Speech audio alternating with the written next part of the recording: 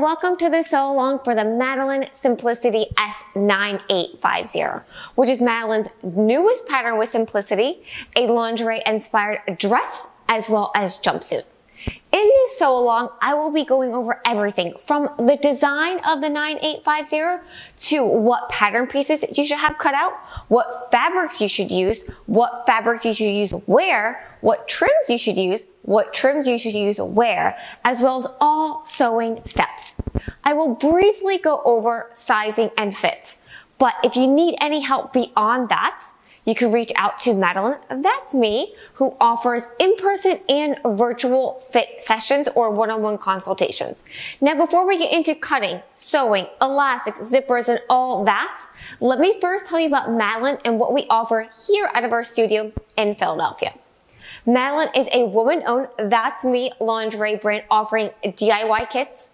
Yes, there's a kit for the 9850 bra making workshops as well as multi-day retreats, in person as well as online, tutorials just like this one, as well as ready-made lingerie.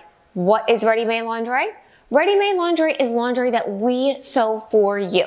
So if you have a mom, a sister, a friend, a cousin, whoever who loves your made-made lingerie, but you don't want to make it for them, that's where we come in. We have a small team of sewers who will make lingerie based on your measurements. Now let's get into the sew along and go over sizing. The 9850 is available in sizes extra small through 5X. And because the 9850 is lingerie inspired, an easier way may be to think about that in terms of band sizes with lingerie. So if you are an extra small in the 9850, that would be the same thing as a band size of 28 in lingerie sizing. If you wear a size small in the 9850, that would equate to a band size 30 in lingerie sizing. If you wear a size medium in the 9850, that would equate to a band size 32 in lingerie sizing. For each size, there are different cup sizes. And you determine your cup size based off of your full bust measurement and your under bust measurement. Your under bust measurement is subtracted from your full bust measurement. So a great example is let's just say your full bust, which is the fullest part of your bust, is 36. And your rib cage, also referred to as your under bust, measures 32. 32 subtracted from 36 equals 4 inches. Each inch equals a cup size. This is standard in lingerie. So an A cup is one inch difference. A B cup is a two inch difference. A C cup is a three inch difference. And a D cup is a four inch difference. So it goes up incrementally. So how do you find the right underwire for your band size or your size as well as your cup size?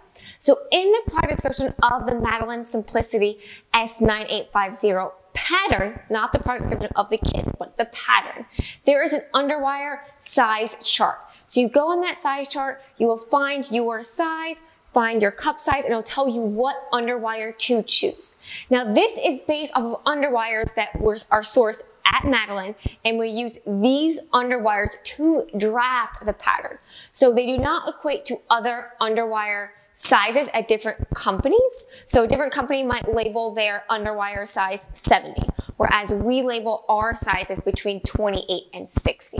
So highly, highly, highly recommend getting an underwire from Madalynne um, for the 9850. Now that we went over sizing, let's get into what pattern pieces you should have cut out, as well as what fabrics you should have cut out for each pattern piece.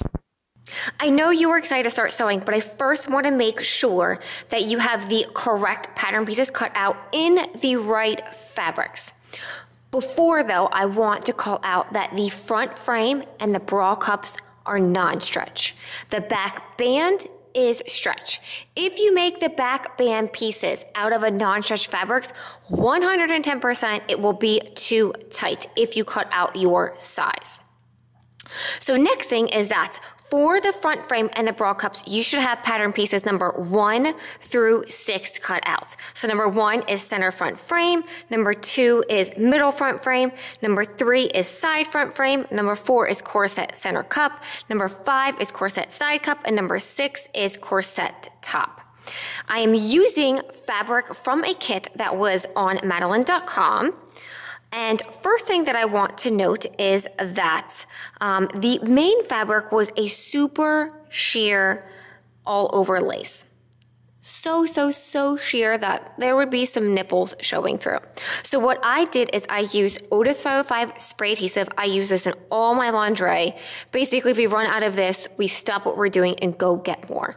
I spray basted the main fabric to the stretch mesh only because I didn't want there, I needed this to be a little bit more opaque. Um, so I'm treating this as one layer. So for the bra cups, I have the main layer, which is the uh, all over celestial lace, spray basted two layer stretch mesh with the lining fabric, which is a sheer cup lining, separate. So for the bra cups, Number four, five, and six, you have your main fabrics and your lining fabrics cut separately. Now for the front frame, I have spray basted all those layers together. So the celestial all over lace with the stretch mesh with the sheer cup lining. So it's three layers here. It is not thick at all. You might be thinking, oh my God, that's so bulky, but it's really not. All three of these layers are super sheer and super thin. So uh, I just treat these as one layer. So to recap, bra cups, main fabric, and lining fabrics cut separately. The front frame, uh, uh, number pattern piece number one through three. All of those fabrics are spray basted together. And now let's move on to the back bands. The back band pattern pieces are number seven, eight, and nine. Really easy is that I uh, use stretch mesh um, two layers of stretch mesh just so that it wasn't really sheer, um, and I spray basted them together. Key thing to remember here is that when cutting the back band, make sure that the direction of greatest stretch is going around the body. You need the back band to be stretchy in order to provide a little bit of flexibility when um, wearing it, or else it's gonna be too tight, you're gonna feel constricted. For the skirt, there is the top skirt as well as the bottom skirt. The top skirt is pattern piece number 12, which is the main fabric, and pattern piece number 14, which is the lining fabric. The main fabric, I am using a celestial all over lace. The lining fabric, I'm using a stretch mesh. Something to think about with this skirt and fullness that you want. So I am cutting a size small AB cup and I should be cutting out a small skirt. But if you want more ruffle, more volume in that skirt, you could definitely cut out a size large or extra large uh, to give yourself a little bit more fullness, especially on the bottom skirt ruffle. You could cut out another additional piece in order to add a lot more volume to the bottom of the dress. Um, for the sleeve ruffle, there are two. There's a larger sleeve ruffle as well as a smaller sleeve ruffle. Those are pattern pieces number 10 and 11. They are not cut out on this photo, but you could use stretch mesh or um, a layer of the all over celestial lace or your main fabric. I'm doing my best to uh, put everything on one picture, so hopefully uh, this explains it well. Okay, so now you can see the bottom ruffle skirt, which is pattern piece number 13. The last thing to cut out, and this is only if you are making the jumpsuit version, on number 15, which is the pant front, and number 16, which is the pant back. Key thing to know about uh, the pant is that it was drafted for stretch fabrics. So do not try to make it out of a non-stretch fabric because it won't fit if you cut the size that you measure. Now comes the fun part, sewing. The pattern comes with instructions, but please note that I will be going out of order. Just so don't freak out if you go through the pattern and you're like, wait a second, she is on a way different step. Totally okay, the end product is still the same. So on this side, I have the pattern pieces that show the before, and I'm gonna explain what you should be doing um, on this side. And then this side is the after. I think it's very helpful to see the finished product as I'm explaining. So first thing is super easy is that you are going to sew a straight stitch about a quarter slash eighth, no more than a quarter down from the edge of the front frame. This is going to serve as a guideline so that you are going to turn this back along that stitch line and do another stitch um, just about an eighth of an inch or a quarter of an inch down. I have thread tails here for the first line of stitching, but for the second one, you can or cannot backstitch. It is totally up to you. Sometimes backstitching on a little tiny piece like this is very difficult. Next thing is that you are going to sew the main fabrics of pattern piece number four and pattern piece number five, which is the corset side cup and the corset center cup together along the vertical seam. Quarter of an inch seam allowance, back stitch at beginning the M, backstitch at the beginning and the end for both the main fabrics and the lining fabrics. And you're gonna do that separately. So I've done that here, main fabric, lining fabric. Now after sometimes dealing with uh, sheer fabrics like this, serging is optional, but if you wanna do what I did and I just pressed the seam allowances to one side and did a zigzag stitch over it. Next up is that you're going to place the main or the lining fabric to the main fabric right sides together, sew a straight stitch along the top edge or the neckline. Quarter inch seam allowance, back stitch at the beginning and the ends. Here's the finished piece. And then I pressed the seam allowances towards the lining side and did a nice edge stitch using a straight stitch. You can also use a zigzag stitch. It's fine if you want your stitches to be consistent. Um, and then you're gonna fold this back. Those are the steps.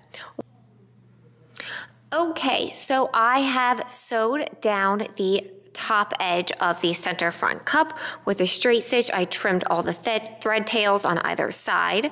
Next thing is that on the corset top, pattern piece number six, when I fold back the lining side, I wanna fold it back so that the main fabric kind of turns over. Well, this is called turn of the cloth. Now, when I do that, you can see that the lining overhangs the bottom edge. So first thing I'm gonna do is I'm gonna cut that back so that it's all nice and clean on this edge.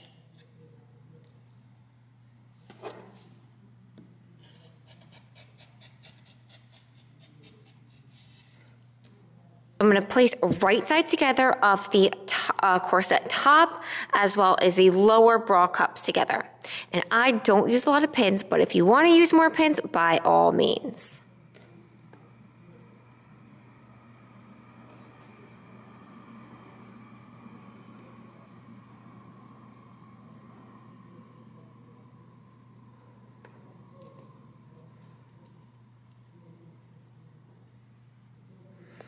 Then you are going to take your lining and you are going to place it on top. So basically the corset top piece, pattern piece number six, is sandwiched in between the main fabrics and the lining fabrics of the lower bra cups. And you're going to sew all these together with the straight stitch, back at the beginning and the end. I'm going to go do that and then I will show you how you flip everything right side out so all the seam allowances are encased. I have done that step, sewed the uh, lower bra cups together with the top cup or corset top sandwiched in between. Now I flip everything right side out. Oh my goodness, how pretty is that? And now all the seam allowances on the inside are encased. Don't see any. This one, you don't see that seam allowance. This one, you don't see that seam allowance. Don't see that seam allowance as well. Now, if you want to sew down the seam allowances um, along this seam, you can, totally optional.